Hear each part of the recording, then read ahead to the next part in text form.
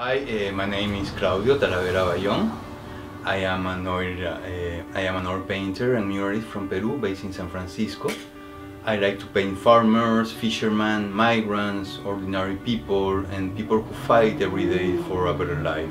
I live surrounded by art. Uh, I have made art since I was a child. Uh, art for me is part of my life, like eating or sleeping. I cannot imagine one day in my life without making art. And I think that now is, is an interesting time for the arts. Art can bring hope, uh, harmony, balance to our children, to us, to our minds and lives, especially in this time. I think that now art is more important than ever. It was an honor to be invited to be part of the Open Studios committee to share my experience and perspective as a Latino artist in San Francisco and to be, able to mentor other artists and to see from the inside how the work Artspan does, not only for Open Studios but to help artists thrive in art in, in San Francisco. Botes en Chorrillos is a painting I made for Artspan Open Studios last year it's a scene in Chorrillos, a neighborhood on the coast of Lima, the capital city of Peru. The fishing boats you see in the painting are taking a break after a long hours of work and the fisherman is folding the nets.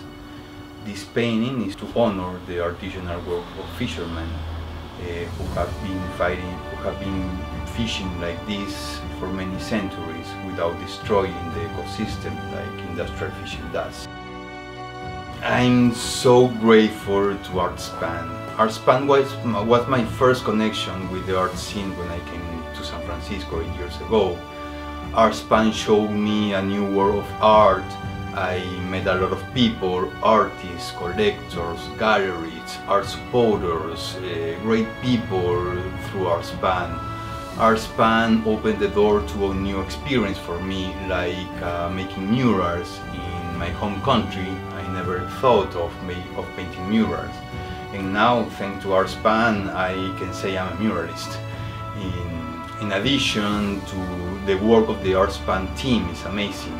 They offer wonderful opportunities to local artists year-round. You guys are amazing and you make a wonderful, uh, wonderful work. I appreciate it so much and thank you, thank you so much.